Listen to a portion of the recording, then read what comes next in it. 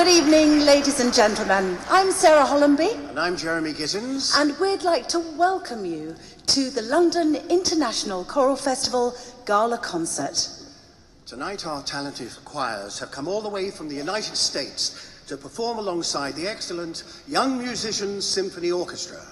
And in this beautiful setting, Southwark Cathedral, steeped in history, this has been a place of worship for nearly a thousand years and was the first Gothic church in London. Before we start the concert, our festival patron would like to say a few words. So please welcome Roger Bramble.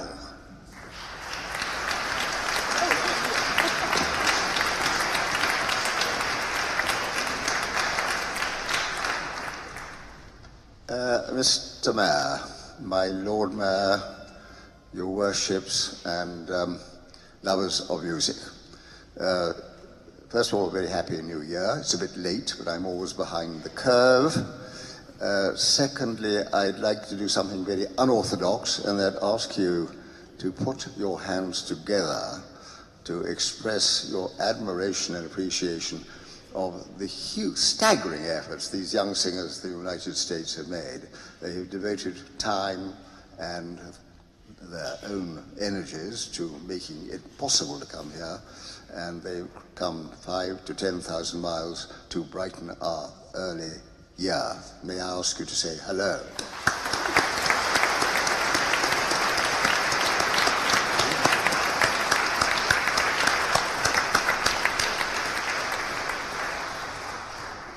Uh, it always gives me huge pleasure when talent from the United States encounters uh, that of our locals, and uh, the YMSO is an extremely talented collection of young musicians on the threshold of their professional career, and I think they will give you great joy later on.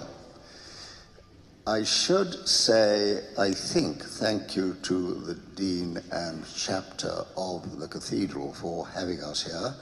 Uh, it is, it is a, wonderful acoustic, and it is a place where they play music a lot, but this is the first time we have been here, and I'm looking forward to hearing the noise quite enormously.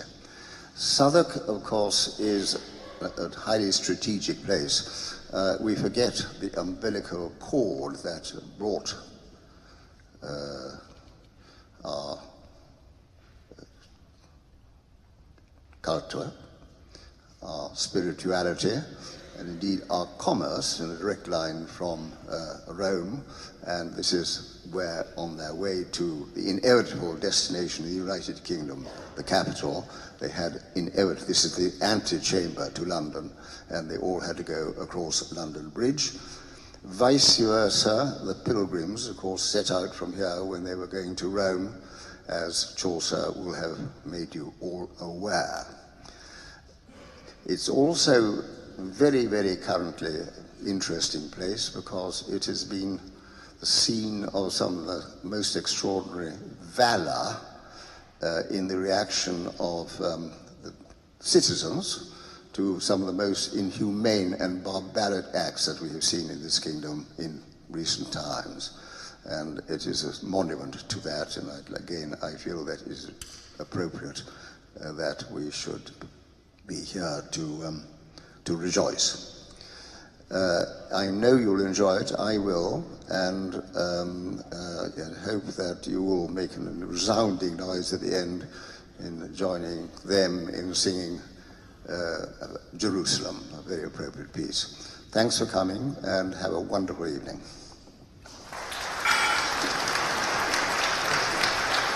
Thank you, Roger Bramble.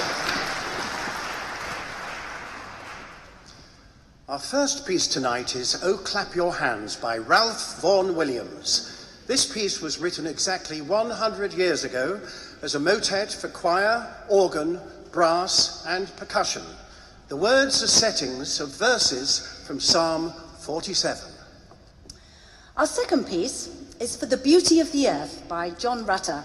This anthem was first published in 1980 and is a setting for the first four stanzas of the 1864 hymn. Now, please welcome to the stage the leader of the orchestra, Millie Ashton.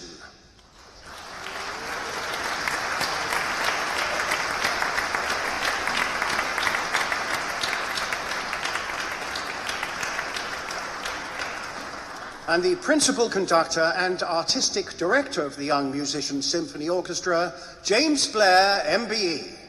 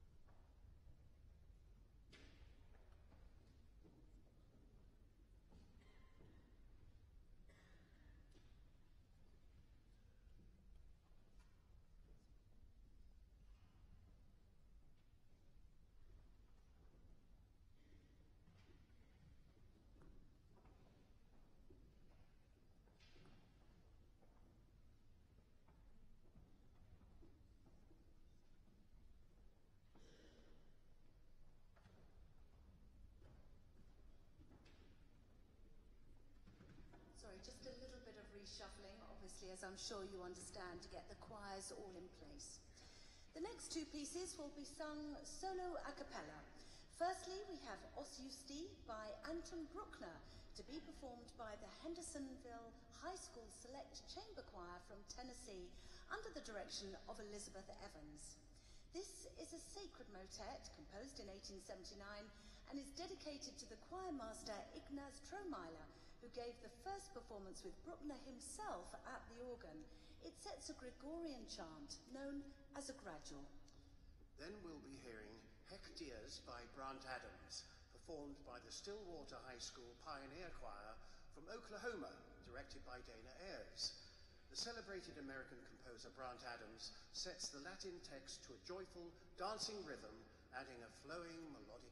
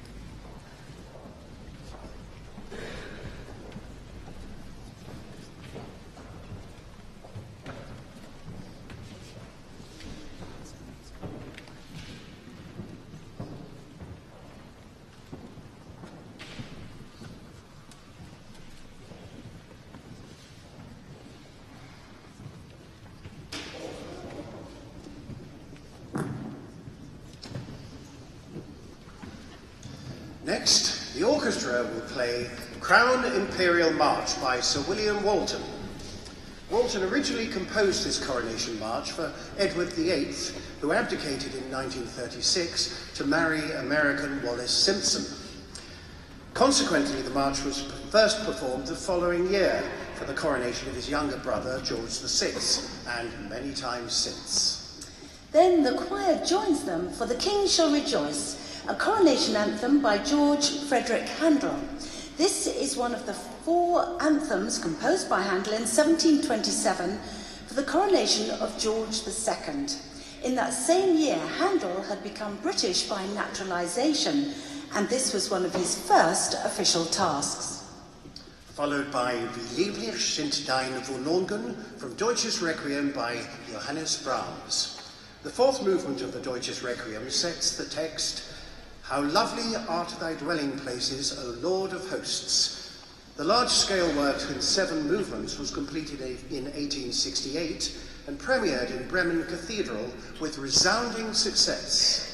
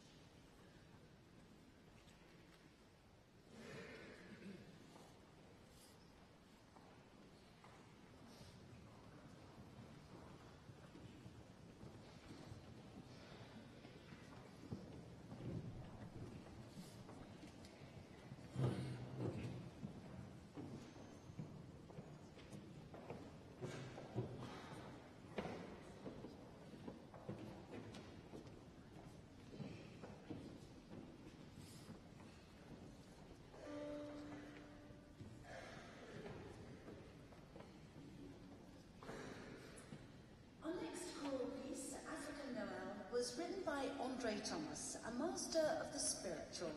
The constant rhythmic patterns and layers of sound add energy and intensity to this a cappella piece. This will be performed by the South Fork High School Carillion Singers, directed by Eileen F. Walentin.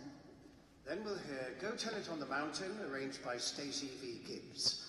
A traditional festive Christmas spiritual arranged by a cappella choir, this favourite song with its familiar tune and toe-tapping rhythms will hopefully delight everyone. And this will be sung by the Holly Springs High School Colla Voce under the direction of Jenifer Patchett.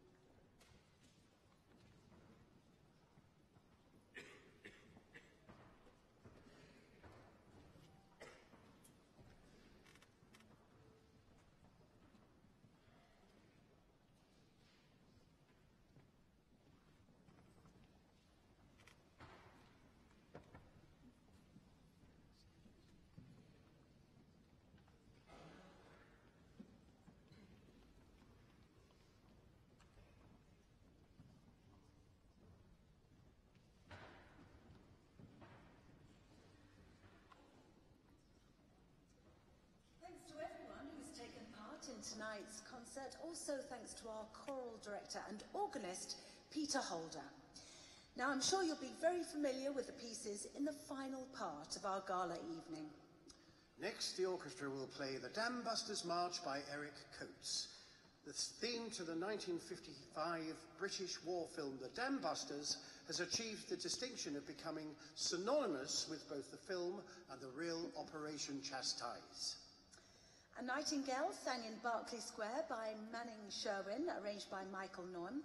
This popular British song was first heard in 1939 and over the years has been performed by many artists as diverse as Dame Vera Lynn, Glenn Miller, and even Rod Stewart. And finally, let's all join the choirs and the orchestra for Jerusalem by Sir Hubert Parry. Written in 1804 with words by William Blake, this hymn is widely regarded in many circles to be England's unofficial national anthem. Now, the words to this rousing hymn are in the programmes tonight, so please, let's all join in. And remember, the louder you sing, the more you'll enjoy it. and for a final time tonight, please welcome back James Blair, MBE.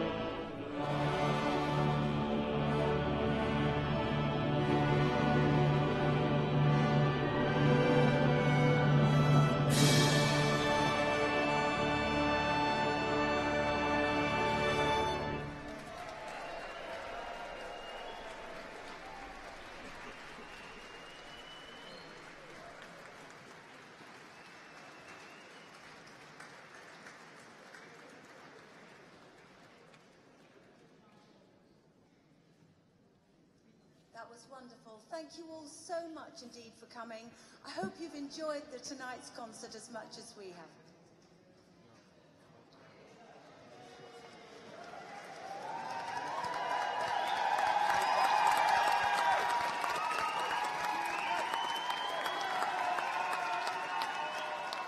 Peter Holder, James Blair,